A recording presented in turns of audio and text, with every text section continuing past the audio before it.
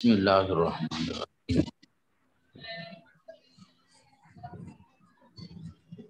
أعوذ بالله من الشيطان الرجيم بسم الله الرحمن الرحيم إنما يخشى الله من عباده العلماء۔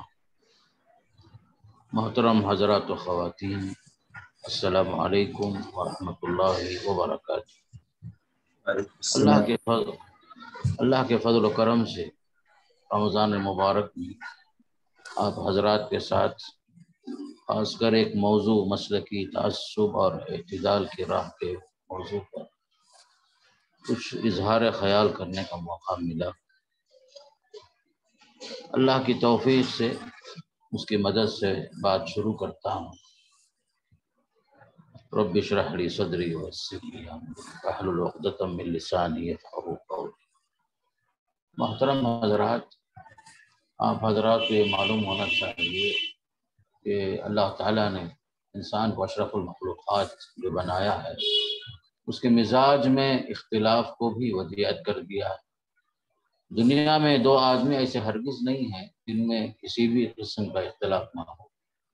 ہر انسان میں کچھ نہ کچھ اختلاف ضرور ہوتا ہے۔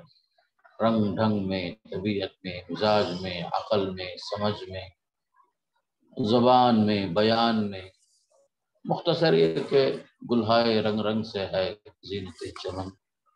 اللہ تعالیٰ نے خاص کر انسان کی فطرت میں یہ چیز رکھ دیا ہے۔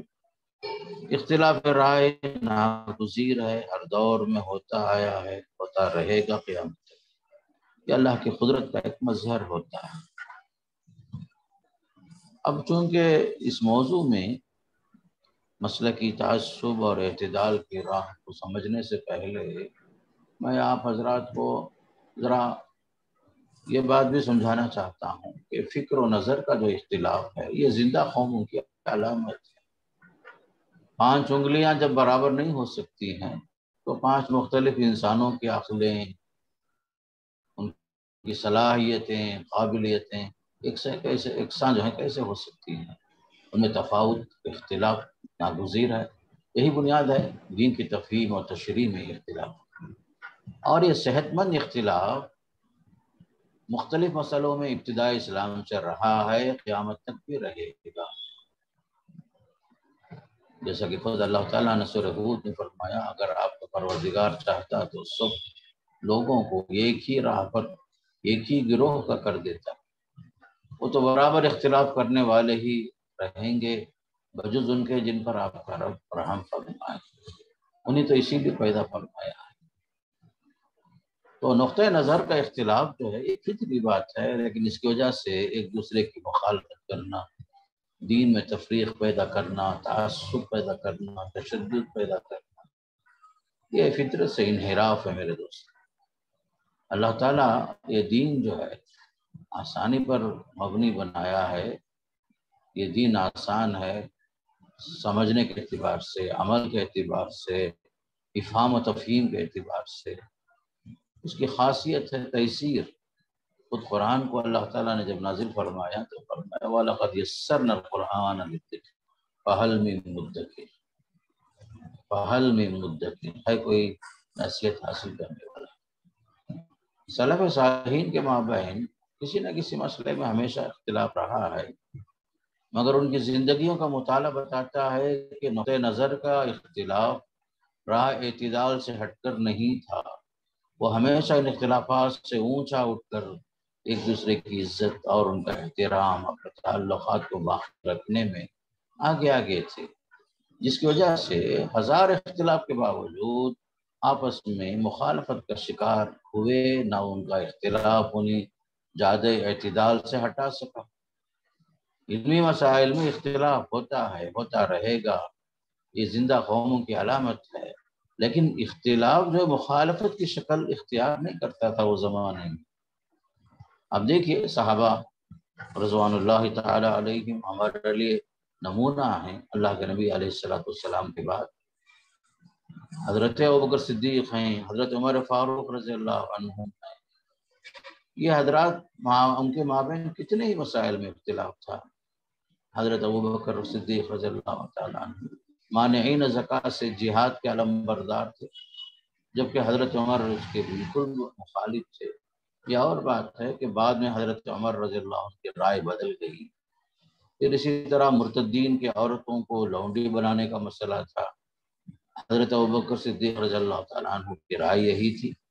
حضرت عمر رضی اللہ تعالیٰ عنہ کی رائے اس کے برعکس تھی۔ اسی طرح وظائف مقرر کرنے کے سلسلے میں حضرت ابوبکر صدیق رضی اللہ تعالیٰ عنہ مساوات کے قائل تھے، جبکہ حضرت عمر فاروق فرق مراتب کا لحاظ رکھنے کو ترجیح دیتے تھے کہ ہر فوجی جو ہے برابر نہیں ہو سکتا، اس کے کارناموں کے حساب سے، اس کے وظائف میں فرق ہونا چاہیے۔ اسی طرح مفتوحہ اراضی کے سلسلے میں بھی دونوں کی رائے الگ الگ تھی، دونوں کی رائے میں فرق تھا۔ بہرحال ان سارے اختلافات کے باوجود دونوں ایک دوسرے کا حد درجہ احترام کرتے تھے۔ آپ اس کا اندازہ اس واقعے سے لگا سکتے ہیں کہ ایک مرتبہ کسی نے حضرت عمر رضی اللہ عنہ کی تعریف کرتے ہوئے پوچھا، کیا آپ حضرت ابکر سے زیادہ بہتر ہیں؟ اس پر حضرت حضرت عمر بے تحاشا رونے لگے۔ فرمایا، اللہ کی قسم، ابو بکر رضی اللہ عنہ کی ایک رات کی عبادت عمر اور آل عمر سے بہتر ہے۔ ابو بکر کی ایک رات کی عبادت عمر اور آل عمر سے بہتر فرمایا۔ اللہ اکبر۔ حضرت عمر اور حضرت عبداللہ بن مسعود رضی اللہ تعالیٰ عنہ کے درمیان بھی علامہ ابن قیم کے بقول سو سے زائد مسائل میں اختلاف تھا۔ اختلاف تھا، مخالفت نہیں تھی۔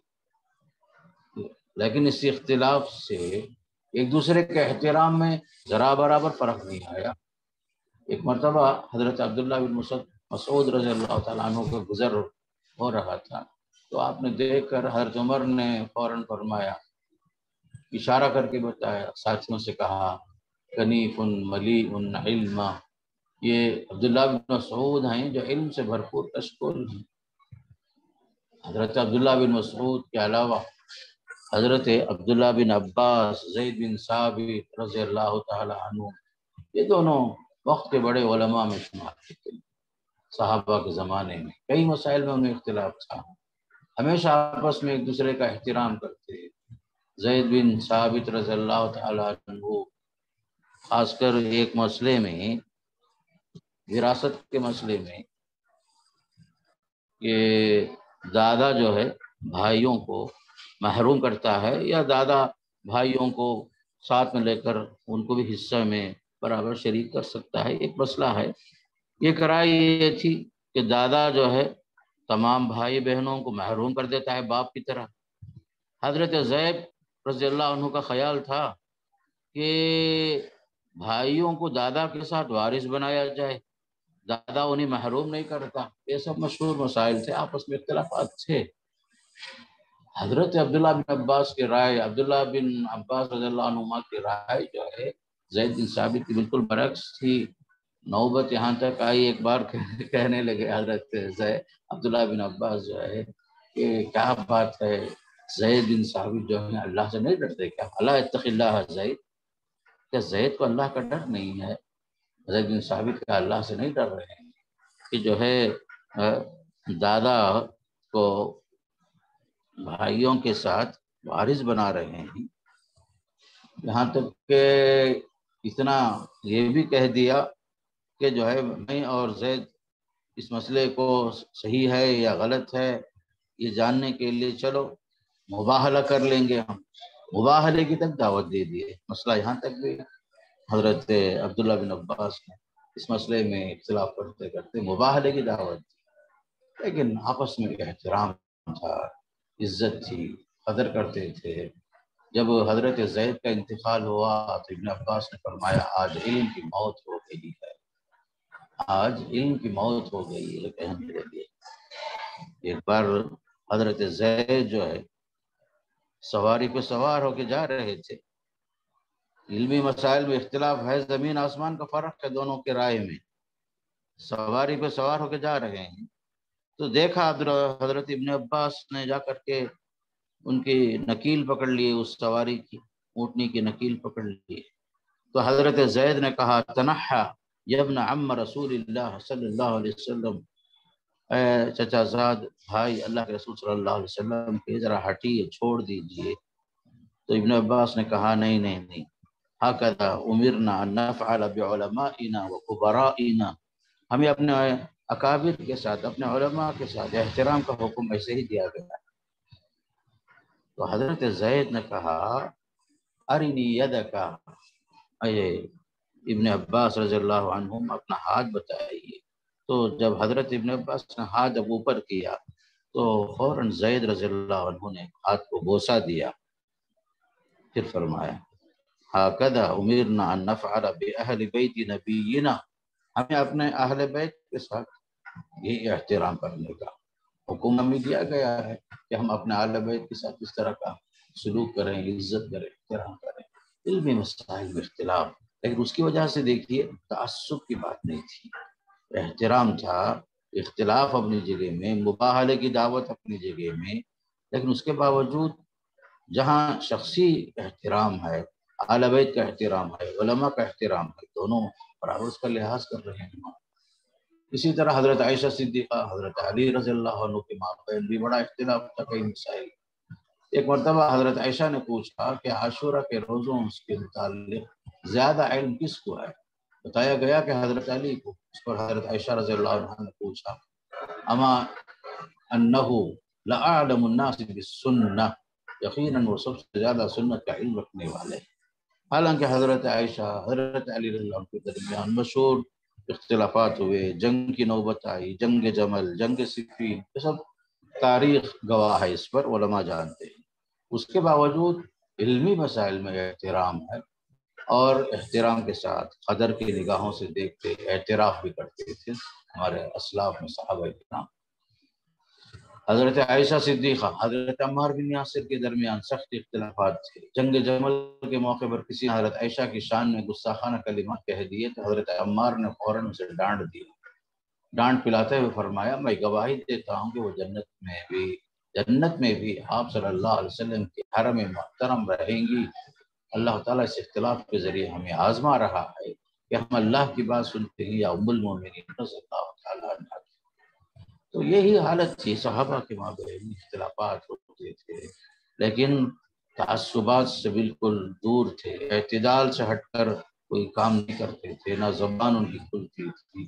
نہ جو ہے، صحابہ میں جو سب سے بڑی چیز مجھے جو پسند آتی ہے، صحابہ رضوان اللہ علیہ سوان عمری میں، وہاں تعصبات نہیں تھے، اس کے علاوہ گروہ بندیاں نہیں تھی۔ آج ہم چھوٹے مسئلے میں اختلاف کرتے ہیں تو فوراً جو اپنا گروپ الگ بنا لیتے جماعت سازی ہو جاتی ہے، باقاعدہ جو ہے الگ پلیٹ فارم بنتا ہے، باقاعدہ جو مسجدیں الگ ہو جاتی ہیں، ادارے جو ہے بڑے بڑے ادارے دو حصوں میں بڑھ جاتے ہیں۔ ہاں، ضرورت پڑنے پر بعض جگہ میں گولیاں چلتی ہیں، نعوذ باللہ یہ جو ہے صحابہ کا طریقہ ایسا نہیں تھا۔ اختلافات کے باوجود احترام احترام کے ساتھ ساتھ رائے کا احترام اور ایک دوسرے کی عزت، قدردانی ان کے فرق مراتب۔ ان سب کا لحاظ رکھنا یہ صحابہ کا طریقہ رہا ہے میرے دوست۔ اب دیکھیے، ایک مسئلہ مشہور ہے کہ حضرت عثمان غنی وہ امیر المومنین تھے اپنے دور خلافت میں۔ حج کا موقع تھا مینا عرفہ میں۔ قصر کرنا سنت ہے۔ اللہ کے نبی کا طریقہ رہا ہے حج کے ایام میں۔ قصر کرتے ہیں، چار رکعت والی نماز، دو رکعت پڑھتے ہیں۔ لیکن حضرت عثمان نے چار رکعت پڑھائی تو عبداللہ بن مسعود رضی اللہ تعالیٰ عنہ کھڑے ہوئے کہا، اے امیر المومنین، آپ تو سنت کے خلاف ورزی کر رہے ہیں۔ سنت تو یہ کہ دو رکعت پڑھنا چاہیے۔ تو اس کا جواب حضرت عثمان نے دیا کہ، بھائی، گزشتہ سال ایسے ہی میں دو دو رکعت پڑھایا۔ تو بہت سارے بدوی حضرات دور دور سے جو آئے تھے، علم شریعت سے بہت دور تھے۔ وہ جا کر کے مجھے خبر ہوئی کہ وہ لوگ سال بھر جو ہے دو دو رکعت ہی پڑھتے رہے۔ مجھے اس فتنے کا ڈر ہے، کہیں لوگ یہ نہ سمجھ لیں کہ جو ہے، چار رکعت والی نماز حقیقت میں دو ہی رکعت پڑھنا چاہیے۔ اس طرح کی بات لوگوں کے ذہن میں نہ آئے اور لوگ اسی پر عمل نہ کر لیں۔ اس خوف سے میں چار رکعت والی نماز کو میں یہاں قصر کیے بغیر باقاعدہ جو ہے، میں چار رکعت پڑھتا ہوں۔ تو یہ بات ہوئی، پھر نماز کھڑی ہوئی۔ تو حضرت ابن مسعود رضی اللہ عنہ ساتھ میں نماز میں شریک ہو گئے۔ کسی نے حضرت ابن مسعود رضی اللہ عنہ سے پوچھا کہ ابھی تو آپ نے اختلاف کیا؟ پھر آپ کے ساتھ نماز میں بھی شریک ہو گئے۔ تو اس کا جواب حضرت ابن مسعود رضی اللہ عنہ کی، الخلاف و شر اختلاف برحق ہے، صحیح ہے اپنی جگہ بھی، لیکن مخالفت نہیں ہونی چاہیے۔ مخالفت بری چیز ہے۔ سب سے اہم چیز یہی ہے۔ چاہے چاند کا مسئلہ ہو، حضرت قریب کا مسئلہ، حضرت ابن عباس رضی اللہ تعالیٰ عنہ کی رائے، قریب کے ساتھ جو ہے، بالکل چاند کے مسئلے میں جب شام میں رویت ہو گئی تھی، حضرت قریب وہاں گئے تھے اور شام میں روزہ رکھ کر آئے تھے اور کہا کہ جو ہے میں نے چاند دیکھا، امیر معاویہ نے چاند دیکھا۔ کیا ہمارا چاند دیکھنا اہل مدینہ آپ لوگوں کے لیے کافی نہیں تھا؟ کہا کہ نہیں نہیں۔ پھر جو ہے اس کا جواب عبداللہ بن عباس رضی اللہ عنہما نے یہ دیا تھا امرنا رسول اللہ صلی اللہ علیہ وسلم یہی حکم اللہ کے نبی کا ہے۔ کہ ہمارے لیے ہماری رویت ہے، ان کے لیے ان کی رویت ہے۔ لیکن حضرت قریب جو شام سے آئے تھے، خاموش ہو گئے۔ جب سنیں کہ دلیل ہے اس موضوع میں ان کے پاس، کوئی اختلاف نہیں کیے۔ مزید جو ہے، پارٹی بازی نہیں کیے۔ جماعت کو الگ سے لے کر کے، الگ سے عید منانے کی فکر نہیں کی۔ جیسا کہ آج کے زمانے میں ہر شہر کے اندر یہ چیز دیکھنے میں آتی ہے، افسوس کی بات ہے۔ صحابہ کا نام تو ہم لیتے ہیں، صحابہ کا منہج اختلاف کو ہم لوگ قبول نہیں کرتے، یہ ہے سب سے بڑا مسئلہ۔ نام تو ہم لیتے ہیں، صحابہ کا نام عقیدت سے، محبت سے، ان کا احترام سب کچھ پیش کرتے ہیں۔ لیکن جہاں اختلافی مسائل آتے ہیں، تو صحابہ جو ہے، جس چیز کو اپناتے تھے، وہ تھا تعصب سے اونچا اٹھ کر، غلو سے ہٹ کر، تشدد سے ہٹ کر باقی اعتدال کی راہ، مخالفتوں سے بچتے تھے۔ یہ ہے خاص کر صحابہ کا طریقہ۔ چلیے، میں آپ کو کچھ اور چیزیں بتانے کی کوشش کرتا ہوں کہ صرف صحابہ ہی ایسے نہیں تھے۔ صحابہ کی تعلیم سے، تربیت سے، جو ائمہ مطبوعین بعد میں جو آئے تھے، ان لوگوں کا بھی طریقہ صحابہ ہی کا طریقہ تھا۔ درمیان آپس میں بے شمار مسائل میں اختلافات ہوتے مگر ایک دوسرے کا احترام اپنی ذات سے زیادہ کرتے تھے۔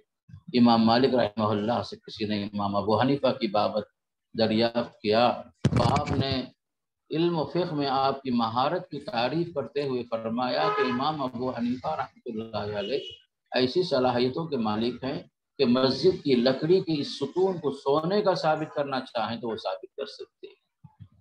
امام مالک رحمۃ اللہ علیہ امام ادار الحجرہ مدینہ کے امام ہیں۔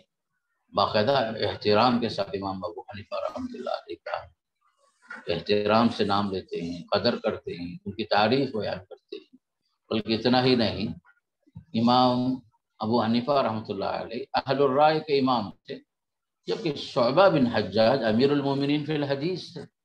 جب امام صاحب کی وفات کی اطلاع ہوئی تو بڑے دکھ کا اظہار فرمایا۔ شعبہ بن حجاج رحمہ اللہ نے فرمایا کہ آج امام صاحب کی وفات کے ساتھ کوفے کی فقہ کا خاتمہ ہو گیا ہے۔ اللہ جب امام صاحب کی وفات کی خبر سنتے ہیں، شعبہ بن حجاج امیر المومنین فی الحدیث، وہ اہل الرائے کے امام، یہ امیر المومنین فی الحدیث، لیکن دیکھیے کوئی تعصب نہیں، احترام ہے۔ اس لیے کہ لکل فن رجال وہ جو ہے اہل الرائے کے امام ہیں، یہاں امیر المومنین فی الحدیث ہیں، لیکن قدر ہے، احترام ہے، اختلاف بعض مسائل میں ہو سکتا ہے، لیکن اس کے باوجود مخالفت نہیں۔ احترام ہے، بلکہ ان کی علم کا، ان کی فقہ کا باقاعدہ جو قدر کرتے ہوئے کہتے ہیں، آج امام صاحب کی وفات کے ساتھ کوفے کی فقہ کا خاتمہ ہو گئے کہتے ہیں۔ امام شافی رحمۃ اللہ علیہ، امام مالک کے درمیان کئی مسائل میں اختلاف تھا۔ اس کے باوجود امام شافی فرمایا کرتے تھے کہ مالک ابن انس میرے استاذ ہیں۔ جب علماء کا تذکرہ کرتے تو فرماتے امام مالک آفتاب عالم ہیں۔ امام مالک آفتاب عالم ہے کہتے تھے امام شافی رحمۃ اللہ۔ جب کوئی حدیث ان سے سنو تو فوراً قبول کر لو، یہ بھی کہتے تھے۔ جب امام مالک سے کوئی حدیث سنو تو فوراً قبول کر لو۔ امام مالک رحمۃ اللہ علیہ، امام ادار الحجرہ مالک بن انس جب آئے مدینہ منورہ تو اہل مدینہ سے ایک ایک چیز پوچھتے تھے۔ اہل مدینہ کا عمل کیسے تھا؟ صحابہ کا عمل کیسے تھا؟ باقاعدہ انہوں نے کتاب میں معطا امام مالک کے اندر اہل مدینہ کے عمل کو آپ سے سنی ہوئی حدیثوں کو، جو حدیثیں آپ تک پہنچی تھی، بلاغیات کے نام سے اسے جمع کیا تھا۔ اور امام مالک کی جو خدمت ہے میرے دوستوں امام بخاری سے پہلے کے امام مالک بن انس رحمۃ اللہ علیہ، جب انہوں نے کتاب جمع کی، معطا، اس وقت جو ہے امت کا اتفاق ہو گیا۔ کہ اصح الکتب بعد کتاب اللہ معطا امام مالک اللہ کہ اللہ کی کتاب کے بعد امام مالک کی کتاب معطا سب سے زیادہ اصح الکتب ہے، سب سے زیادہ صحیح کتاب ہے۔ پھر اس کے بعد کے ادوار میں امام بخاری تشریف لائے، امام مسلم تشریف لائے، بعد کے ادوار میں۔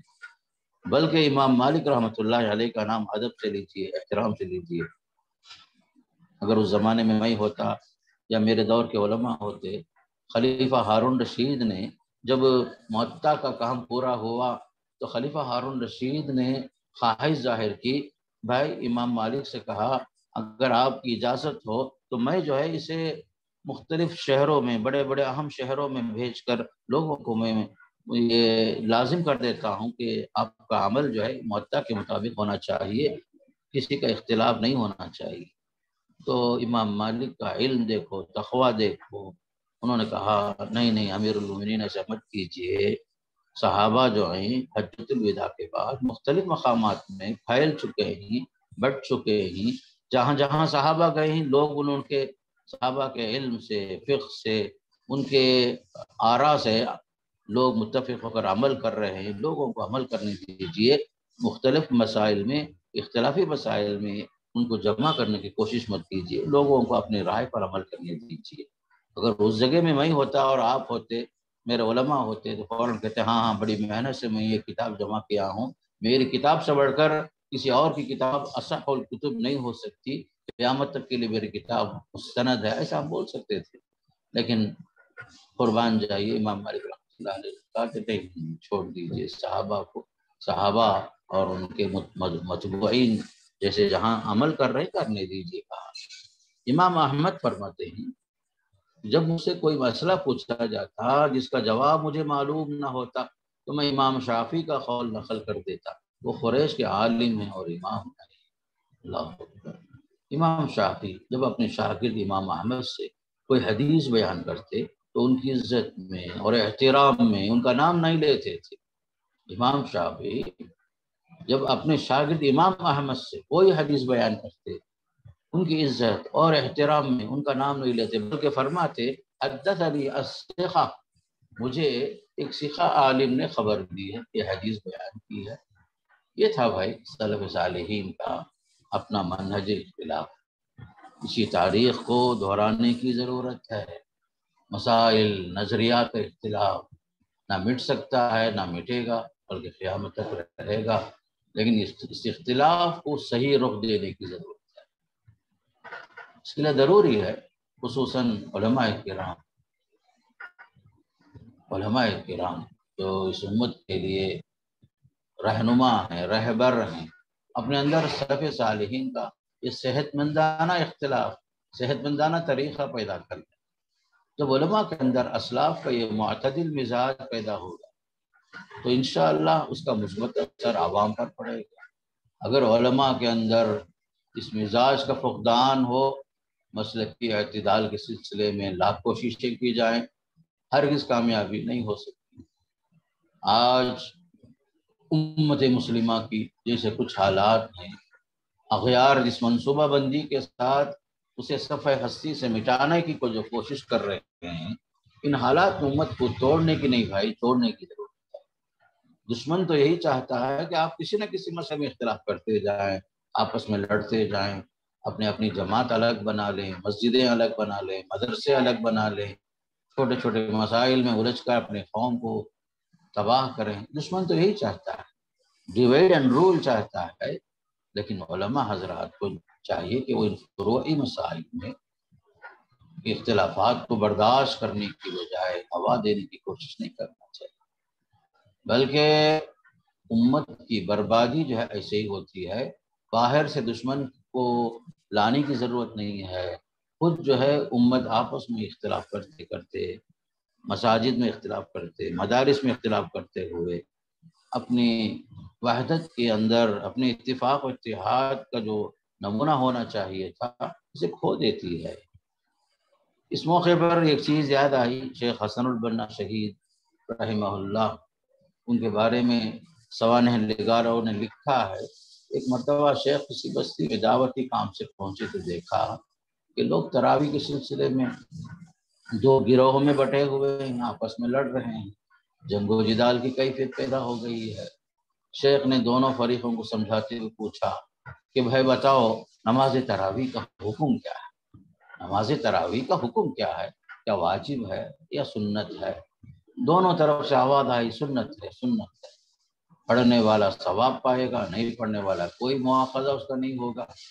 اس لیے کہ اصول ہے، ضابطہ ہے سنن کے اندر تطوعات کے اندر، یثاب فاعلها ولا يعاقب تاركها سنت پر عمل کرنے والا ثواب پائے گا، نہیں پڑھنے والا بھی کوئی اس کا مواخذہ نہیں ہوتا۔ شیخ شیخ نے پھر ان سے دوسرا سوال کیا مجھے بتاؤ کہ مسلمانوں کے ماں بھائی اسلامی اخوت، اسلامی وحدت قائم رکھنے کا کیا حکم ہے؟ دونوں طرف سے جواب دیا گیا کہ ایک دینی اور ملی فریضہ ہے۔ تو اس پر شیخ نے حسن البنا شہید نے فرمایا کہ اسلامی شریعت میں یہ جائز ہے کہ ایک سنت کی حفاظت میں ہم ایک ایسے اہم فریضے کو ضائع کر دیں جو وقت کا سب سے بڑا تقاضا ہے۔ یعنی چھوٹے چھوٹے مسائل میں ہم بٹ کر کے تعصبات کا شکار ہو کر، مسئلے کی تعصبات میں گرفتار ہو کر چھوٹے چھوٹے مسائل میں آپس میں مختلف ہو کر کے، گروہ بندیوں میں شکار ہو کر، گروہ بندیوں کا شکار ہو کر، فرقہ بندیاں باقاعدہ جو ہے اس کی الگ الگ جماعتیں، شکلیں بنا لے، تو کیا یہ اسلام میں جائز نہیں ہے؟ ایک سنت کی حفاظت میں ہم ایک ایک ایسے فریضے کو ضائع کر رہے ہیں جو وقت کا سب سے اہم تقاضا ہے۔ قرآن کا باقاعدہ اعلان ہے نہادی امتکم امتا واحدہ نہادی امتکم امتا واحدہ یہ امت جو امت واحدہ ہے یہ جیسا کہ فرمایا وجاہدوا فی اللہ حق جہادی هو اجتباکم وما جعل علیکم فی دین من حرج. ملت ابیکم ابراہیم هو سماکم المسلمین اللہ نے ہمارا نام مسلمان رکھا ہے. ہم سب کی پہچان اسلام ہے. ہم سب کا قبلہ ایک ہے. ہم سب کے لیے آخری کتاب ہدایت والی قرآن مجید ہے. ہم سب کی منزل آخرت ہے. ہم سب جو ہے اللہ کی رضامندی چاہتے ہیں۔ سب کا قبلہ ایک، سب کا نبی ایک، سب کی منزل ایک ہے۔ سب کا مقصود ایک ہے۔ سب کا معبود ایک ہے۔ پھر جو ہے آپس میں یہ چھوٹے چھوٹے مسائل ہمیں کیسے جو ہے آپس میں لڑنے پر، لڑانے پر، اس کے لیے تعصب کرنے پر کیسے مجبور کرتے ہیں؟ ذرا سوچ کر دیکھیے میرے دوست۔ یہ دل کی گہرائیوں سے باقاعدہ جو ہے محبت کے ساتھ میں آپ کو کہتا ہوں۔ کہ یہ امت کو مزید اور تباہ کر دے گا ہمارا یہ اختلاف۔ مسائل کا اختلاف ہمیں جو ہے لڑنے، جھگڑنے کے لیے نہیں ہے۔ یہ علمی مسائل ہیں، علمی مسائل، سمجھو۔ علمی مسائل ہیں۔ ان میں اختلاف ہوتا ہے، ہوتا رہے گا۔ اس کی وجہ سے آپس میں تعصب نہیں ہونا چاہیے اور فرقہ بندی نہیں ہونی چاہیے۔ علماء کرام کو اپنے اگر ذمہ داریوں کا احساس ہو جائے اور وہ اختلافات کی اس حقیقت کو پہچانتے ہوئے وقت کے تقاضوں کو بھی سمجھیں، تو کچھ بعید نہیں کہ آج کے علماء بھی ہمارے اسلاف کے نمونہ بن جائیں۔ ہم لوگ جو ہیں اپنے اسلاف کے نمونہ ہیں۔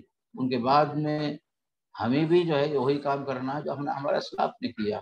دین کو اسی طرح سمجھنا ہے، ہمارے اسلاف نے سمجھا ہے۔ تو خصوصاً اس موقع پر میں اپنے علماء حضرات سے ادباً درخواست کروں گا کہ صحابہ کے منہج اختلاف کو سامنے رکھیے۔ صحابہ کے منہج اختلاف کو سامنے رکھیے۔ علماء خاص کر یہ کوشش کریں عوام کے مابین بڑھتی ہوئی خلیج کو دور کریں۔ عوام کے درمیان بڑھتی ہوئی خلیج کو دور کریں تعصبات سے دور ہو جائیں۔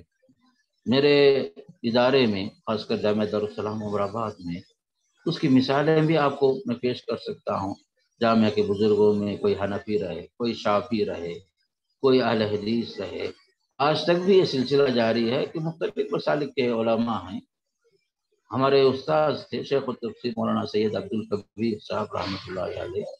ان کے دور میں شیخ الحدیث مولانا ظہیر الدین صاحب تھے۔ دونوں بھی مرحوم ہو گئے، لیکن یہ جو ہیں حنفی المسلک تھے، لیکن شیخ الحدیث مولانا ظہیر الدین صاحب اہل حدیث تھے۔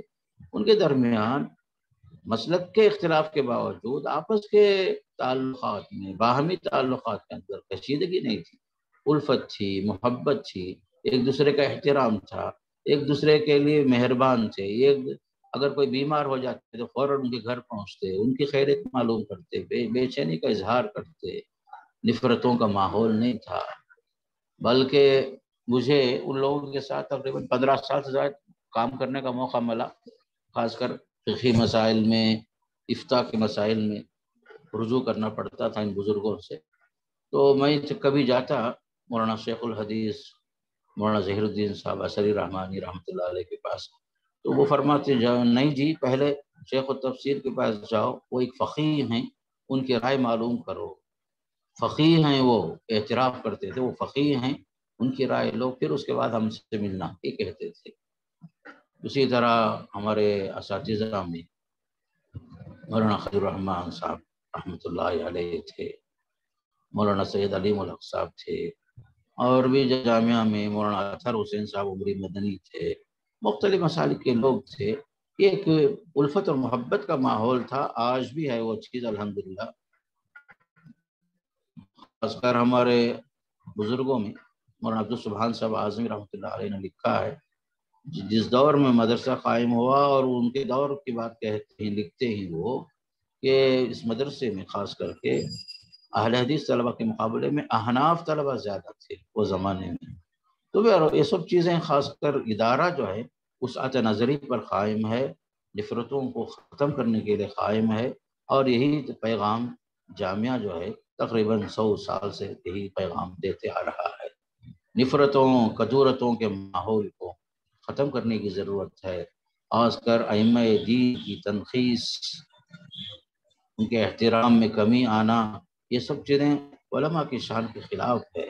میں آپ کو اور ایک چیز بتانا چاہتا ہوں، دیکھیے کہ فروعی مسائل میں جو اختلافات ہوتے ہیں، وہ مسائل میں اختلاف جو ہے، ترجیحی مسائل کا مسئلہ ہوتا ہے۔ اصول اپنی جگہ پر ہے اصولی مسائل الگ ہیں، فروعی مسائل الگ ہیں۔ یہاں تک کہ بعض مسائل جو اللہ کی صفات سے متعلق ہیں، اصولی مسائل میں سے ہیں۔ مثال کے طور پر رویت باری تعالی، خاص کر اللہ کے نبی علیہ السلام والسلام، جب اسرا اور معراج پر جب گئے تھے، اسرا اور معراج کا جو واقعہ ہے، اس میں صحابہ کے مابین اختلاف ہے۔ خاص کر اللہ کی رویت ہوئی یا نہیں ہوئی، جبکہ اکثریت صحابہ کی اس کے قائل ہے کہ رویت نہیں ہوئی۔ نور انا ارا ہو رائی تو نورن ایک حدیث ایسی بھی آتی ہے، نور انا ارا ہو ایک حدیث یہ بھی ہے۔ باقاعدہ صحابہ کے مابین اس میں بھی کچھ اختلاف ہوئے۔ رویت کے قائل ہیں کچھ لوگ کچھ لوگ جو ہے عدم رویت کے قائل ہیں۔ اس طرح کی چیزیں ہیں۔ اس کے علاوہ یہ جو مسائل ہیں، جتنے بھی مسائل ہیں، خاص کر فروعی مسائل، ان سب میں ایک اصول ہمارا یہ ہے کہ آپ اپنے رائے کے اعتبار سے عدلہ کے اعتبار سے ہو سکتا ہے، آپ کی رائے صحیح ہوگی۔ لیکن آپ یہ کہیے، رأی ثواب یحتمل الخطا و غیری خطا یحتمل الثواب۔ میری رائے درست تو ہے، لیکن خطا کا امکان ہے۔ اور فریق ثانی کی رائے غلط تو ہے، لیکن اس میں بھی ثواب کا درستگی کا احتمال باقی ہے۔ یہ چیز ہونا چاہیے کہ فروئی مسائل میں آپ کے عدلہ اپنی جگہ میں ترجیحات اپنی جگہ۔ اس کے باوجود فریق ثانی کے لیے گنجائش باقی رکھنا۔ رأی ثواب يحتمل الخطا ورأی غیری خطا يحتمل الثواب۔ کہنا اور ایک چیز میں آپ کو بتاؤں کہ مسالک میں جو اختلافات ہیں، فروعی مسائل میں، یہ سب برائے ترجیح ہیں، برائے عمل ہیں۔ معاملہ جو ہے ترجیحات کا ہے عمل کا ہے، علمی مسئلہ ہے یہ سب۔ اس میں جو ہے، مسائل کا اختلاف ایسے نہیں ہے کہ آپ جو ہے مسالک کی تبلیغ کرتے پھر ہم مکلف ہیں دین کی تبلیغ کرنے کا۔ ہمیں حکم دیا گیا ہے کہ ہم دین کی تبلیغ کریں، مسالک کی نہیں۔ مسالک برائے ترجیح ہوتے ہیں، برائے عمل ہوتے ہیں، لیکن دین قابل تبلیغ ہے، قابل عمل ہے، قابل ترجیح بھی ہے اور قابل تبلیغ بھی ہے۔ جی خاص کر ایک موقع تھا اسلامک فقہ اکیڈمی کے ایک سیمینار میں، خاص کر برہان پور گیا تھا میں۔ استاد محترم مولانا خلیل الرحمان صاحب کے ساتھ جانا ہوا۔ مولانا کے ذریعے سے بڑے بڑے اکابر سے تعارف ہوا۔ غالباً یہ میرا پہلا سفر تھا، پندرہ سال پہلے۔ تقریباً سولہ سال، پندرہ سال پہلے۔ تو مولانا جو ہے، مجھے کئی علماء سے ملا ہے۔ یہاں تک کہ مولانا سالم صاحب رحمۃ اللہ علیہ دارالعلوم وقف دیوبند کے جو محتمم تھے، مولانا سالم صاحب، اللہ ان کے جنت ان کو جنت نصیب فرمائے۔ ان سے ملاقات کے لیے وقت نکال کر مولانا مجھے لے کر گئے۔ مولانا خلیل الرحمان صاحب، استاد محترم۔ جا کر کے مولانا نے مولانا سالم صاحب سے کہا، مولانا، آج کے زمانے میں لوگ جو ہیں، شدت برت رہے ہیں، تعصب برت رہے ہیں۔ مسالک کے لیے لوگ جو ہیں، حمیت کا اظہار کر رہے ہیں۔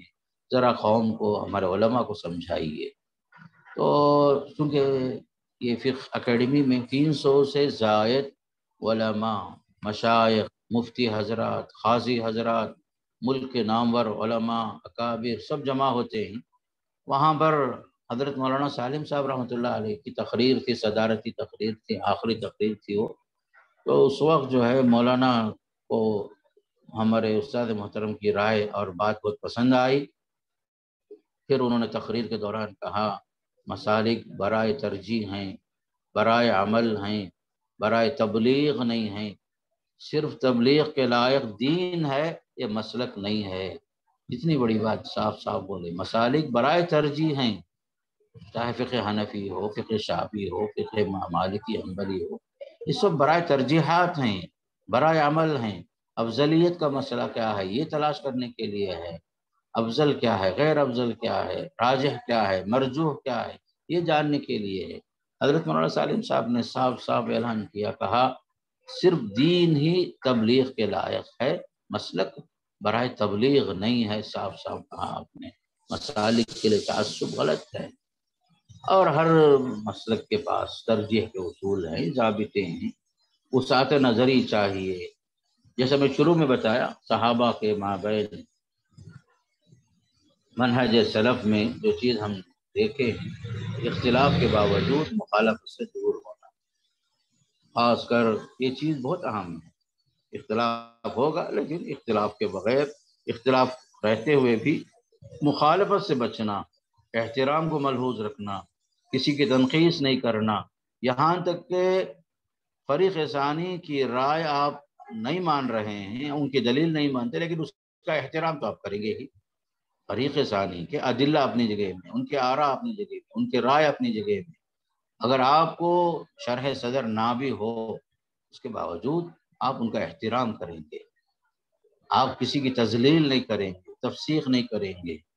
فروئی مسائل میں اختلاف کی وجہ سے آپ حالیہ جو ہے حالات کے تحت میں کہتا ہوں، تکفیر تک پہنچ جاتے ہیں، ایسا نہیں ہونا چاہیے۔ مسائل ترجیح کے لیے ہوتے ہیں۔ راجح کیا ہے؟ مرجوح کیا ہے؟ اس کی رائے قرآن حدیث سے زیادہ قریب ہے۔ اگر کسی کے پاس حدیث ضعیف ہے، ٹھیک ہے۔ آپ کو یہ بھی میں بتاؤں، حدیث ضعیف ہے تو حدیث ضعیف بھی بعض جگہ میں دلیل بنتی ہے، جہاں خاص کر کے حدیث ضعیف کے ساتھ صحابہ کا عمل سامنے آ جاتا ہے۔ صحابہ کی رائے، صحابہ کا عمل اگر آ جائے، حدیث ضعیف کا ذوف ہلکا پڑ جاتا ہے۔ تو خاص کر منہج سلب سیکھنا چاہیے اختلاف میں بھی۔ اب دیکھیے، افسوس کے بعد میں یہ موقع سے کہہ دینا چاہتا ہوں، رمضان میں اس سال، ان سال حرمین شریفین میں تراوی کا مسئلہ آیا۔ وہ لوگ اس سال جو ہے دس رکعت پڑھنے پر اکتفا کر لیے۔ اس پر یہاں سے وہاں تک بڑے بڑے مدارس والے، علماء حضرات، بڑے بڑے خاص کر اکابر حضرات جو ہیں، شدید رد عمل کا اظہار کر رہے ہیں، خاص کر حرمین شریفین میں بیس رکعت تراوی کے بجائے دس رکعت کیوں پڑھی جا رہی ہے؟ ایک زمانے سے عمل چل رہا ہے۔ آپ یہ سمجھنے کی کوشش کیجیے بھائی کہ جیسے شروع میں میں بتایا تراوی جو ہے، ایک نفل نمازوں میں سے ایک نماز ہے۔ اور اللہ کے نبی صلی اللہ علیہ وسلم نے با جماعت نماز تین دن ہی تو پڑھائی تھی۔ با جماعت نماز آپ کے تین دن ہی ہوئی تھی۔ آپ کو ڈر ہوا کہیں ایسا نہ ہو کہ یہ نماز آئندہ چل کر کے فرض نہ ہو جائے اور امت اسے اس پر عمل نہ کر سکے۔ اس لیے آپ صلی اللہ علیہ وسلم نے باجماعت نماز تیس دن سے بڑھ کر نہیں پڑھائی۔ پھر اس کے بعد آپ نے طریقہ بتا دیا۔ آپ کا طریقہ جو ہے گیارہ رکعت پڑھنے کا بھی ہے۔ اور اس سے کم بھی آپ نے پڑھا۔ پھر آپ نے خولی حدیث نے یہ بھی فرما دیا، دیکھو صلاۃ اللہ علی مسنا مسنا صلاۃ اللہ علی مسنا مسنا۔ حتیٰ اذا خشی احدکم صبح فلیوتر برکعہ۔ رات کی نمازیں دو دو رکعت ہیں، دو دو رکعت ہیں۔ اگر آپ کو صبح ہونے کا ڈر ہو جائے تو آپ ایک رکعت پڑھ کر کے آپ جو ہے رات کی تراویح کو قیام اللہ کو ختم کر لو۔ یہ ہے سیدھی سادی بات۔ پورا زور ہمارا جو ہے تعداد پر ہے میرے دوستو۔ ہماری امت کے لیے سب سے اہم مسئلہ کیا ہے؟ تعداد اہم ہے۔ آٹھ ہے، بیس ہے، آٹھ ہے، بیس ہے۔ اس پر زندگی پر لڑتے رہتے ہیں لوگ۔ حالانکہ حضرت ایسا صدیقہ فرماتی ہیں، اللہ کے رسول کی نماز کی کیفیت کیسی تھی؟ کیفیت پر آج بحث ہی نہیں کرتے ہم لوگ۔ لا تسأل عن حسنہن وطولہن فرمایا ہے ایسا میں کہ اللہ کے نمی رسول کی نماز کی، نماز کیسی لمبی ہوتی تھی، اس کی کیفیت کیا تھی؟ مت پوچھو۔ قیام طویل ہوتا تھا۔ صحابہ سمجھتے کہ رکو میں نہیں جائیں گے آپ۔ رکو میں چلے جاتے رکو اتنا طویل ہوتا کہ صحابہ سمجھتے کہ سر اٹھائیں گے نہیں آپ۔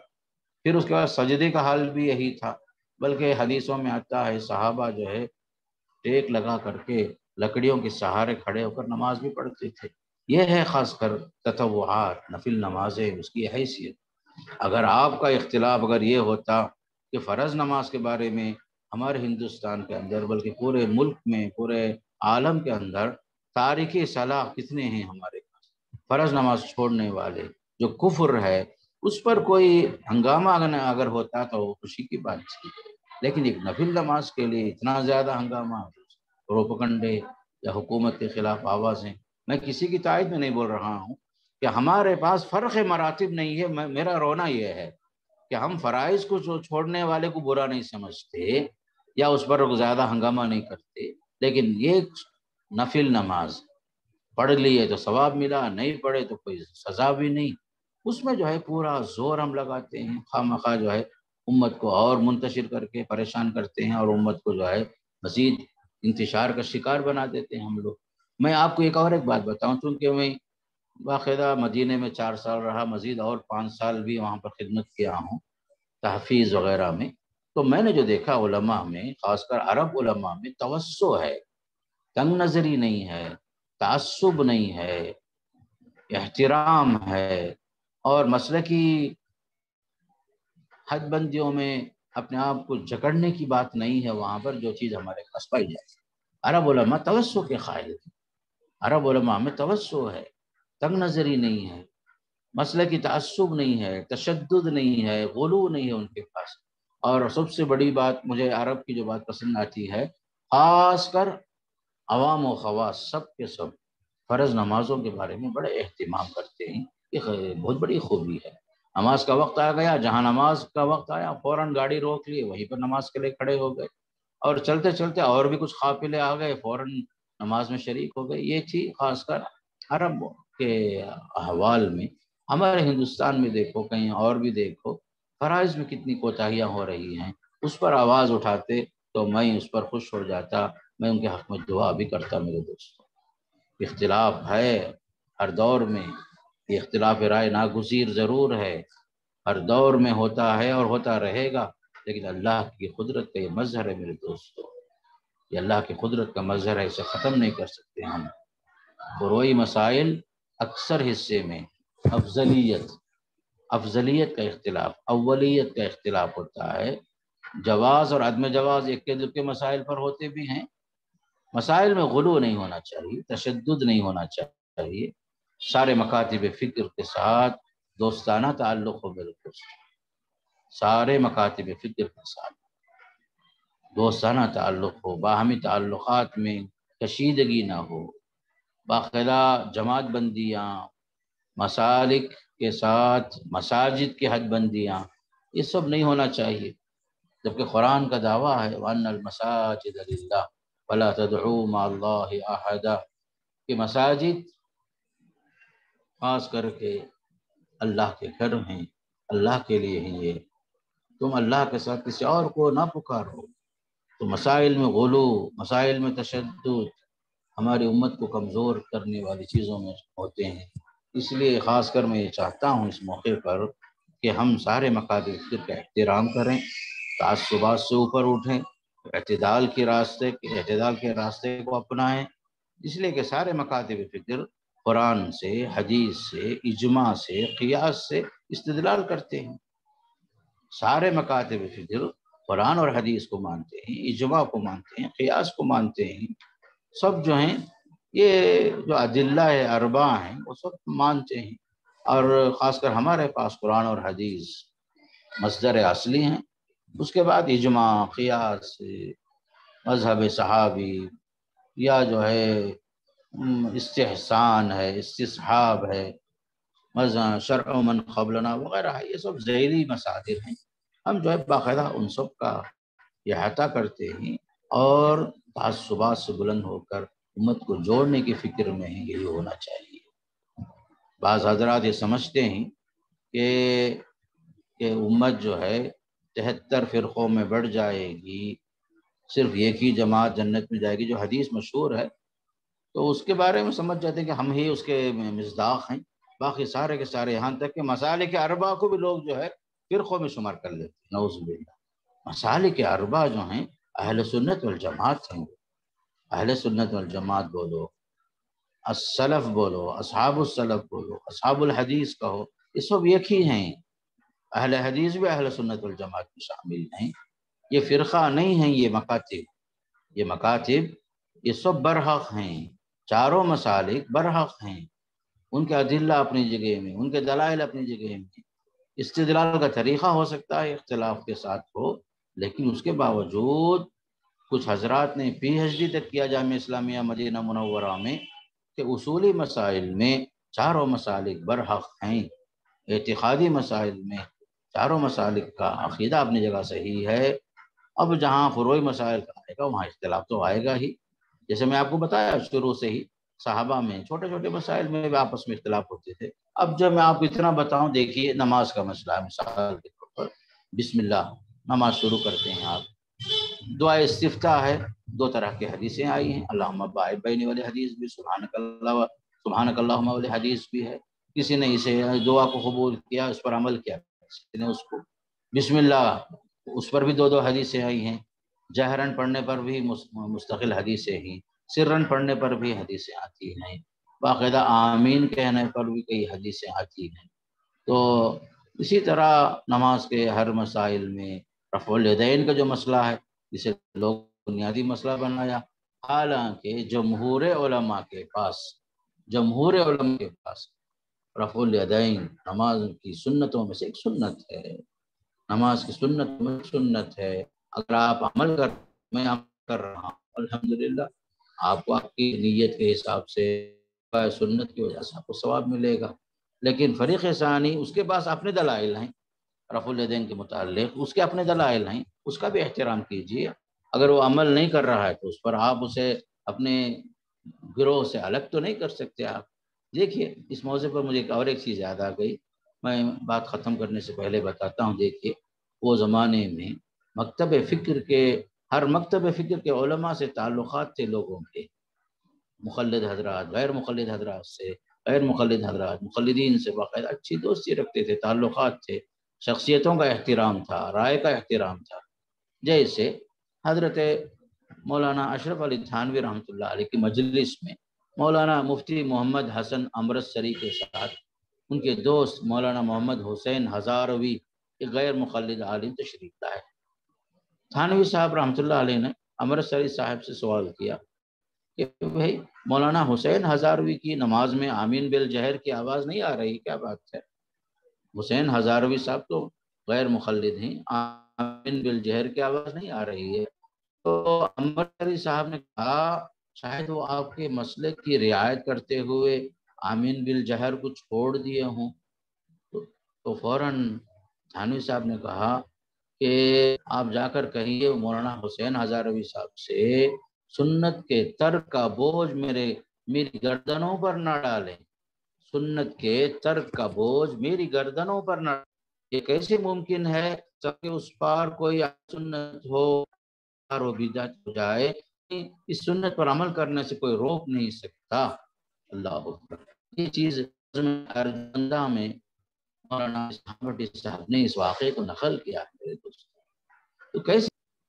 تو اس طریقے سے بہرحال یہ سب چیزیں ہیں، برحق ہیں اور ہم اپنے علماء کو یہ بتانا چاہتے ہیں کہ وسعت پیدا کیجیے احترام پیدا کیجیے توسع پیدا کیجیے تنگ نظری سے بچیے تشدد سے بچیے امت کو لڑانے سے زیادہ جوڑنے کی ضرورت ہے، اتفاق، اتحاد کی طرف دعوت دینے کی ضرورت ہے۔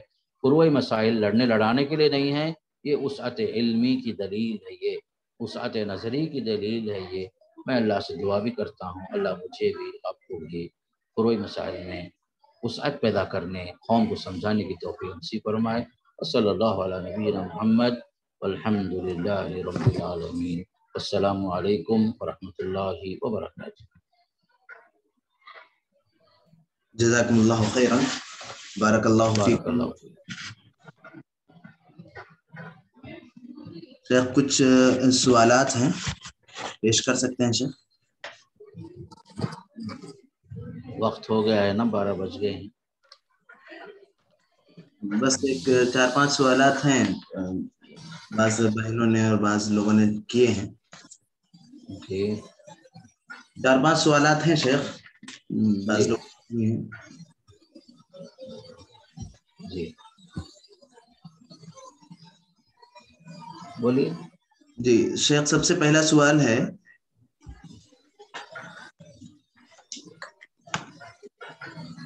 بہت سارے اہل اہل علم کہتے ہیں کہ احناف کے پیچھے نماز نہیں ہوتی۔ بہت سارے اہل حدیث عالم کہتے ہیں احناف کے۔ پیچھے نماز نہیں ہوتی۔ یہ اس قسم کی بات کرنا ہے کہنا بسم اللہ۔ اچھا میں سوال سمجھ گیا آواز کٹ رہی تھی کہ کچھ لوگوں کا خیال یہ کہ کہ غیر مخلد کی نماز مخلد کے پیچھے نہیں ہوتی اس طرح جی شیخ جی۔ ہیں یہ بات صحیح نہیں ہے۔ بالکل بات صحیح یہی ہے۔ اللہ کے نبی صلی اللہ علیہ وسلم نے فرمایا صلو خلف کل بر و فاجر ہر نیک اور بد کے پیچھے نماز پڑھو، چاہے وہ کوئی بھی ہو، کیسا بھی ہو۔ جس کی نماز اپنی صحیح ہے، اس کی امامت بھی صحیح ہے۔ جس کی اپنی نماز صحیح ہے، ضابطہ رسول ہے۔ من صحت صلاته، صحت امامت ہر آدمی جو امامت کر رہا ہے، اس کی اگر اپنی نماز صحیح ہے، صحیح پڑھ رہا ہے، ارکان اور واجبات کا لحاظ کرتے ہوئے، تو اس کے پیچھے آپ کی نماز ہو جاتی ہے۔ باقاعدہ یہ بھی خاص کر کم علمی کی دلیل ہے کہ لوگ اس طرح کی باتیں کر کے مسجدیں الگ کر لیتے، جماعت کے اندر اختلاف پیدا کرا کر کے امت کو توڑ دیتے ہیں۔ ایسا نہیں ہے۔ آپ ہر امام کے پیچھے نماز پڑھیے، جو بھی امامت کا فریضہ انجام دے رہا ہے۔ اگر اس سے کوئی غلطی ہو رہی ہے تو وہ جو اس اپنی غلطی کا مسئول ہے۔ آپ مسئول نہیں ہیں۔ صحابہ رضوان اللہ علیہم حجاب بن یوسف جیسے ظالم کے پیچھے بھی نماز پڑھتے تھے۔ باقاعدہ جو ہے، صحابہ جو ہے حجاج بن یوسف جیسے ظالم کے پیچھے خاتم کے پیچھے نماز پڑھتے تھے۔ تو آپ حدیث کے مطابق ہر اس شخص کے پیچھے نماز پڑھیے جو قرآن صحیح پڑھتا ہے، نماز صحیح ادا کرتا ہے۔ سلام پھیرنے تک آپ اس امام کے تابع ہیں۔ اس لیے کہ امامت میں جو اقتدا ہے، تکبیر تحریمہ سے لے کر سلام پھیرنے تک آپ اس امام کے تابع ہیں۔ آپ اس کی نماز ادا کریں گے، اس کے پیچھے نماز پڑھیں گے۔ یہ فکر صحیح نہیں ہے کہ فلاں کے پیچھے نماز نہیں ہوتی، فلاں کے پیچھے نماز نہیں ہوتی۔ اگر کوئی آدمی امامت کے لائق نہیں ہے تو جماعت والے حضرات، متولی حضرات اسے امامت سے ہٹا کر دوسرے امام کو لے کر آئے۔ لیکن محض مسلکی اختلاف کی وجہ سے یہ کہنا کہ اس کے پیچھے نماز نہیں ہوتی اس کے پیچھے نماز نہیں ہوتی یہ بات جو ہے بے بنیاد ہے۔ اللہ اسی طریقے سے ایک صاحب کہہ رہے ہیں کہ جیسا کہ آپ نے بتلایا کہ ایک دوسرے کی رائے کا احترام کرنا چاہیے آپ کو نہ صحیح لگ رہی ہو تب بھی۔ دعوت و اصلاح کا کام کیسے ہو سکتا ہے؟ کیسے ہوگا؟ میں آپ کو یہ بتا رہا تھا کہ بھائی ایک دوسرے کی رائے کا احترام ان کے فکر کا احترام آپ کو تسلیم کرنا نہیں کرنا، یہ آپ کی اپنی ذمہ داری ہے اور آپ کا اپنا پرسنل معاملہ ہے۔ کسی کو ہم کوئی مجبور تو نہیں کرتے کسی کو، لیکن احترام کے ساتھ کسی کی تنخیص نہیں ہونا چاہیے۔ باقاعدہ آپ جو ہے رائے کا احترام کیجیے۔ اگر آپ وہ تسلیم کرتے ہیں، الحمدللہ نہیں، اگر تسلیم نہیں کرتے، ان کی رائے سے اختلاف ہے تو اختلاف ہو سکتا ہے۔ کوئی ضروری نہیں ہے کہ کسی آدمی کی بات ہنڈریڈ پرسینٹ کوئی قبول کر لے۔ صرف اللہ کے نبی علیہ السلام والسلام کی ذاتیہ ایسی ہے جو معصوم عن الخطا۔ ہے ہر بشر اس کے اندر احتمال خطا ہے ہی۔ اس لیے ہم نے کہا کہ آپ یہ ہمیشہ بولیے کہ میری رائے درست ہے اپنی عدلہ کی روشنی میں، لیکن خطا کا احتمال ہے۔ میرے فریق ثانی کی رائے غلطی میں ہے، اس کے باوجود درستگی کا احتمال ہے۔ یہ آپ ہمیشہ کہتے ہیں۔ اس لیے آرا کا احترام کیجیے اس کی وجہ سے دوستی باقی رہے گی۔ آرا کا احترام، افکار کا احترام نہیں کریں گے۔ اللہ ہے کہ بالکل وہ رائے، فکر، کتاب و سنت کے خلاف ہو، تب ہم جو ہے یہ نہیں بولیں گے۔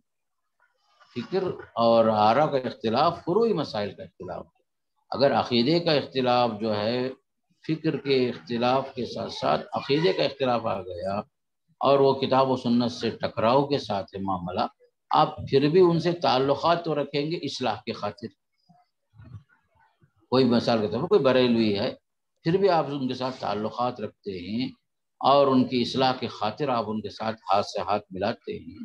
مقصود کیا ہے؟ ان ارید الاصلاح مستطاعت وما توفیقی اللہ باللہ اگر آپ دور ہی رہیں گے، دوری کا راستہ اپنائیں گے، تو جو ہے دوریوں کی وجہ سے غلط فہمیاں بڑھتی ہیں، دشمنیاں بڑھتی ہیں، تعلقات میں کشیدگی پیدا ہوتی ہے، جہالت میں اضافہ ہوتا ہے میرے دوست۔ اس لیے جہاں تک ہو سکے، علمی مسائل میں رائے کا اختلاف ہوتا ہے، ہوتا رہے گا۔ اس کے باوجود اپنے علماء کا احترام کیجیے فریق ثانی کے رائے کا احترام کیجیے تسلیم کرنا نہیں کرنا یہ الگ مسئلہ ہے لیکن اس کی وجہ سے دوری قائم نہیں ہونا چاہیے۔ امت کو جڑنا ہے، دور ہونا نہیں ہے۔ اللہ عالم ایک صاحب کا سوال ہے کہ بہت سارے لوگ دینی معاملات میں بہت سخت ہوتے ہیں اور دین کے خلاف ذرا بھی سنت کے خلاف ان کو کچھ لگا تو یعنی بہت سخت ہو جاتے ہیں۔ تو یہ یہ یہ سختی بھی اعتدال کے خلاف ہے کیا؟ دین میں سختی کا مطلب یہ ہے کہ آپ شاعر اسلام کتاب و سنت قرآن اور حدیث، اجماع، قیاس، یہ جو ہمارے عدلہ اربا ہیں، اس کے اندر آپ اپنی جگہ سخت ہیں تو آپ کو اپنی جگہ رہنا بھی چاہیے۔ اعتدال کہاں ہے؟ اختلافی مسائل میں اعتدال۔ اصولی مسائل میں آپ کو لوہے سے بھی زیادہ سخت اور ٹھوس ہونا چاہیے۔ رہا مسئلہ فروعی مسائل میں وہاں آپ نرم ہوتے ہیں، برداشت کرتے ہیں، ایک دوسرے کی رائے کا احترام کرتے ہیں۔ ایک ہے اصولی مسائل۔ عقیدے کا مسئلہ ہے اور وہاں مثال طور پر شرک ہے۔ شرک کے ساتھ آپ سمجھوتا نہیں کر سکتے۔ شرک کے ساتھ سمجھوتا نہیں ہوگا۔ شرک کے معاملے میں آپ کو ہم یہ نہیں کہیں گے، برداشت کر لو، یہ بھی صحیح ہے، وہ بھی صحیح وہاں تو یہ نہیں بولیں گے۔ اصولی مسائل میں اختلاف جب ہوتا ہے تو وہاں آپ اپنے عقیدے پر مضبوط قائم رہیے۔ آپ اس پر سختی کے ساتھ جمے رہیے۔ توحید کے اندر انحراف کو برداشت نہیں کریں گے۔ آپ سنت پر عمل پیرا ہیں آپ اس پر باقی رہیے۔ سنت کی خلاف ورزی کو آپ برداشت نہیں کر رہے ہیں، تو یہ آپ کی اللہ کے رسول صلی اللہ علیہ وسلم سے محبت کی دلیل ہے، اتباع سنت کی دلیل ہے۔ صحابہ جو ہیں، اللہ کے نبی صلی اللہ علیہ وسلم کی ہر چیز میں آپ کی پیروی کرتے تھے۔ جو چیزیں بشری تقاضے سے ہوتی تھی آپ سے، اس پر بھی عمل کرتے تھے۔ حالانکہ اس پر امت پر وہ سب چیزیں واجب نہیں تھی مثال کے طور پر حضرت عبداللہ بن عمر رضی اللہ تعالیٰ عنہ اتباع سنت میں بہت مشہور تھے، بہت معروف تھے۔ مکہ جاتے ہوئے جہاں اللہ کے نبی صلی اللہ علیہ وسلم کو دیکھا، کہیں بیٹھ کر خزائے حاجت کے لیے گئے ہوں، پیشاب کے لیے بیٹھے ہوں، وہاں بھی عبداللہ بن عمر بیٹھتے تھے۔ چاہے وہ ان کو ضرورت بھی محسوس نہ ہوتی ہو، محض اللہ کے رسول کی سنت سے محبت اور اتباع سنت کی وجہ سے۔ یہ الگ چیز ہے، دین کا معاملہ جو ہے، جہاں آپ کو اپنی دین پر جمے رہنا ہے، اصولی مسائل ہیں، اس میں نرمی کا ثبوت نہیں دیں گے آپ۔ جہاں فروئی مسائل آئے، اختلافی مسائل آئے، وہاں پر آپ یہ نہیں بولیں گے کہ میری رائے اور میری بات ہی آخری بات ہے۔ اس کے علاوہ کسی اور کی بات میں قبول نہیں کروں گا اور دوسروں کی رائے سب غلط ہے، یہ بول ہی نہیں سکتے آپ۔ اس لیے کہ ہر ایک کے پاس اپنی دلیلیں ہیں، ہر ایک کے پاس اپنا اپنا موقف ہے۔ ان کے اصول ہیں ضابطے ہیں یہ سب یاد رکھو۔ اللہ اس کی توفیق نصیب اللہ شیخ ایک بہن نے لکھا ہے کہ آپ نے درس کے دوران مقلد کے مقابلے میں غیر مقلد بولا ہے جبکہ بہت سارے اہل حدیث علماء اس کے خلاف ہیں۔ تو یہ کہاں تک درست ہے؟ میں آپ کو کھلم کھلا بتاؤں۔ ابن قیم رحمۃ اللہ علیہ نے تقسیم کیا ہے کہ لوگوں کی تقسیم ہے۔ کچھ لوگ ہیں، علماء ہیں جو براہ راست کتاب و سنت پر عمل کرتے ہیں، پڑھتے ہیں، باقاعدہ اسے استعمال کرتے ہیں۔ کچھ لوگ ہیں، ان کے اندر اشتہاد کی صلاحیت بھی ہوتی ہے۔ اور کچھ لوگ ہیں جو صرف اتباع سنت پر اتفاق کرتے ہیں، ان کے اندر اشتہاد کی صلاحیت نہیں ہوتی۔ کچھ ہیں عوام، جن کا جو ہے کام ہی صرف اپنے علماء کی تخلیق کرنا، باقاعدہ جو ہے ان کے پاس اتباع سنت کی باقاعدہ جو ہے براہ راست کتاب و سنت کا علم نہیں ہوتا اشتہاد کی صلاحیت نہیں ہوتی۔ ایسے لوگ اپنے معتبر علماء کے قول پر ہی عمل کرتے ہی تخلیق کا مطلب ہوتا ہے کسی کا قول بغیر کسی یعنی دلیل کے قبول کرنا کہ یہ اس خیال کے ساتھ کہ انہوں نے جو بھی فرمایا ہے یا کہا ہے، اس کے پیچھے کسی نہ کسی دلیل کے ساتھ اس کا تعلق ہے۔ تو عوام حضرات جو ہیں، ان کو اپنے علماء کے ساتھ ہی رہنا ہے، اس سے اشتہار کرنا نہیں ہے۔ آج کا سب سے بڑا فتنہ جو ہے، عوام اپنے آپ کو تخلیق کے دائرے سے باہر نکال کر کے مشتحد مطلق بن کر کے اپنے اپنی رائے علماء پر جرح کرنا، علماء کی تنقید کرنا، علماء کی تنقید کرنے پر اتر گئی ہے۔ دو چار حدیثیں کیا معلوم ہو گئیں؟ دو چار آیتیں اپنے آپ کو سمجھ گئے کہ میں جو ہے متبع سنت میں بھی اعلیٰ درجے کا ہوں اور راسخونہ فلم میں بھی میں آ گیا آ گیا گیا ہوں۔ اور میرے پاس اشتہار کی صلاحیت بھی سمجھ جاتی ہیں یہی سب سے بڑا مسئلہ ہے، خاص کر آج کے عوام عوام اپنے علماء کے تابع ہیں تخلیق کہتے ہیں اپنے علماء کے اقوال کو قبول آپ کر رہے ہیں، اس لحاظ سے کہ جو بھی انہوں نے کہا ہے، کسی نہ کسی دلیل کی بنیاد پر کہا ہے۔ آپ جو ہے، ہر مسئلے میں آپ کو دلیل تلاش کرنا آپ کے بس کی بات نہیں ہے۔ آپ کو کسی نہ کسی علماء کے قول پر اعتماد کرنا ہی ہوگا۔ عوام عوام ہی ہوتے ہیں، علماء نہیں بن جاتے۔ چند مسائل جان لینے سے، چند حدیثیں جان لینے سے وہ مستحد مطلق تو نہیں بن جا سکتے۔ زیادہ سے زیادہ متبع سنت بننے کی کوشش کریں۔ ہر مسئلے میں اللہ کے رسول کا فرمان کیا ہے، آپ کا طریقہ کیا ہے، یہ ہو سکتا ہے۔ لیکن تخلیق کا جو دروازہ ہے، یہ عوام کے لیے ہے اپنی جگہ میں۔ یہ چیز یاد رکھنے کی ہے۔ اور ہر عالم بھی مشتحد نہیں ہو جاتا، ہر عالم بھی مفتی اور قاضی نہیں بن جاتا۔ کیٹیگریز ہیں۔ خود قرآن کہتا ہے وراسخون فی العلم یقولون آمنا بھی باقاعدہ علماء کے اندر کیٹیگری ہے۔ راسخین فی العلم ہے متبعین سنت ہیں۔ اور آخری درجہ ہے، خاص کر ابن قیم رحمۃ اللہ علیہ کے بقول، عوام کا۔ عوام جو ہیں، اپنے اپنے علماء کے قول پر عمل کرتے ہیں، جن پر ان کو اعتماد ہو۔ اور عوام آج کل یہ کرتے ہیں کہ اس میں بھی لوگوں کے کسی ایک عالم کا قول لے لی پھر اور ایک عالم کے پاس گئے، پھر اس کے پاس کہا کہ جو ہے فلانا ایسا کہا فلانا ایسا کہا۔ یہ سب فتنے کا کام ہے۔ آپ اس کے مکلف نہیں ہیں، آپ نے جس عالم کو معتمد مان لیا ہے، اس کے قول پر عمل کیجیے۔ اگر درستگی ہوئی تو اللہ کی طرف سے آپ کو اجر ملے گا۔ اگر غلطی ہوئی تو امام صاحب، جو عالم صاحب ہیں، وہ عند اللہ مسئول ہوں گے۔ عوام جو ہے، خاص کر کے مشتحد بننے کی کوشش نہ کریں، علماء کی تنقیص نہ کریں، علماء کے پیچھے پڑھ کر علماء کو آپس میں لڑانے کی کوشش نہ کریں۔ خاص کر میں یہ نصیحت کرتا ہوں کہ عوام عوام ہی رہیں، باقاعدہ جو ہے علماء کا احترام کریں۔ علماء کا مقام، علماء کا مقام جو ہے، یہ انبیاء کے وارث ہیں یہ لوگ۔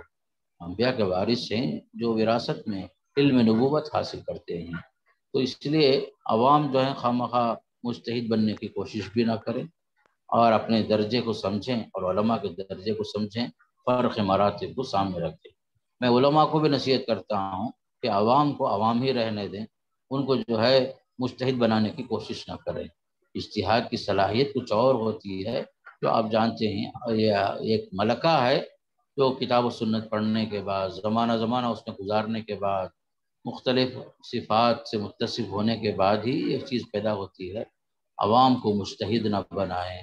اللہ کے لیے کوشش کی کریں کہ آپ دین کو سمجھ کر، قوم کو سمجھائیں اور خصوصاً تعصبات سے، تشدد سے بچنے کی کوشش کریں۔ اللہ مجھے بھی اس کی توفیق نصیب فرمائے۔ صلی اللہ علیہ نبی الحمد صاحب نے لکھا ہے کہ دعوت کے میدان میں نکل کر جگہ جگہ جانا، گشت کرنا، یہ تبلیغی جماعت کا طریقہ ہے۔ جبکہ عمر آباد کا مدرسہ یہ اہل حدیث کا مدرسہ ہے تو وہاں ایسا کیوں ہوتا ہے؟ پہلی بات آپ کو سمجھنا چاہیے کہ عمر آباد مدرسہ نہیں ہے۔ عمر آباد سب کا مدرسہ ہے، ہر مسلمان کا مدرسہ ہے۔ ہر وہ شخص کتاب و سنت کا حامی ہے، ناصر ہے، داعی ہے، کتاب و سنت کو تسلیم کرتا ہے، اس کا مدرسہ ہے۔ کسی مکتب فکر کا، کسی مسلک کا جامعہ نہیں ہے۔ جامعہ جو قائم ہوا اسی مقصد کے لیے کہ لوگوں کو کتاب و سنت کی دعوت دی جائے، مسلک کی حد بندیوں سے، جکڑ بندیوں سے، لوگوں کے افراد اور تفریح سے بچانے کے لیے، اعتدال پر لانے کے لیے ہی جامعہ کو ہمارے بزرگوں نے قائم کیا تھا کہ کسی خاص مکتب فکر کا نہیں ہے۔ اب رہا مسئلہ کہ ہمارا تعلق سب سے ہے، جماعت اسلامی سے بھی ہے تبلیغ جماعت سے بھی ہے۔ ہم سب مہمانوں کا احترام کرتے ہیں، ان کے اکابر کا احترام کرتے ہیں۔ یہ کوئی ضروری نہیں ہے کہ ان کے ہر طریقے سے ہم متفق ہو جائیں، ان کے، ان سے وابستہ ہو جائیں، کوئی ضروری نہیں ہے۔ لیکن ان کا ایک طریقہ، لوگوں کو نماز کو بلانے کا، باقاعدہ لوگوں کو نماز کو بلاتے ہیں، دعوت دیتے ہیں۔ تو ہمارا خیال یہ ہے کہ جب انہوں نے یہ اتنا کام کیا ہے کہ ایک بے نمازی کو مسجد تک پہنچا دیے گی تو آپ آگے بڑھیے۔ اس کی نماز کی کیفیت کو صحیح بنائیے۔ اس کے عقیدے کی اصلاح کیجیے، اس کے عمل کی اصلاح کیجیے۔ سب مل جل کر کام کریں گے تو ایک مسلمان جو صحیح معنی میں پکا مسلمان بنے گا۔ اگر وہ کام کر رہے ہیں، لوگوں کو مسجد سے جوڑتے ہیں تو اچھا کام ہے۔ بے نمازی کو نمازی بنانے کی کوشش میں لگے ہوئے ہیں، اپنا وقت لگا رہے ہیں، جا رہے ہیں کہ لوگوں کو جمع کرتے ہیں۔ اس کے بعد کا مرحلہ آپ کا بھی تو ہے۔ آپ جو ہے دروس حدیث سے دروس قرآن سے باقاعدہ اس کی اصلاح کی کوشش کیجیے۔ اس کے عقیدے کی اصلاح، اس کے عمل کی اصلاح، اس کا تزکیہ کرنے کی کوشش کیجیے مل جل کر کام کریں گے تو کام بنے گا۔ اگر آپ جو اپنی جگہ میں صرف خوش فہمی میں رہے کہ ہمارا اپنا عقیدہ صحیح ہے، اپنا کام صحیح ہے، اپنا طریقہ ہی صحیح ہے، اسی اس میں رہیں گے، امت کے اندر مفید کام نہیں ہوں گے۔ مل جل کر کام کرنا پڑے گا۔ ایک دوسرے کی خوبیوں کو بھی اپنانا اور ایک دوسرے کی خامیوں کو اس کی اصلاح کرنے کی بھی کوشش کرنا۔ یہ طریقہ ہونا چاہیے۔ شیخ اصل میں یہ جو سوال پیدا ہوا ہے کل دعوت کی دعوت کی ضرورت اور اس کا طریقہ کار موضوع سے متعلق شیخ عبداللہ جولم صاحب کا خطاب تھا۔ تو اس میں فیلڈ ورک کی بات آئی تھی تو وہاں سے یہ سوال شاید پیدا ہوا ہے کہ خیر کوئی بات نہیں ہے لیکن چونکہ سوال میں یہ بات آئی اس لیے میں بول دیا کہ جامعہ جو ہے کسی مسلک کا نہیں ہے۔ جی، جی۔ عام ہے سب کا سب کو جو ہے سب مسلمانوں کو جوڑنے کے لیے ہے وہ۔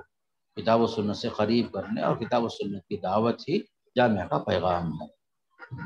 ٹھیک جزاکم اللہ خیرن شیخ بارک اللہ فیکم۔ اللہ آپ کے بے انتہا شکر گزار ہیں کہ آپ نے اپنی قیمتی مصروفیات میں سے ہمارے لیے کچھ وقت نکالا اور ہمیں مستفید کیا۔ انشاءاللہ اللہ تعالیٰ آپ نے جو باتیں بتلائی ہیں ہم انہیں اپنی زندگی میں اپنانے کی کوشش کریں گے اور آگے بھی پہنچانے کی کوشش کریں گے انشاء اللہ تعالی۔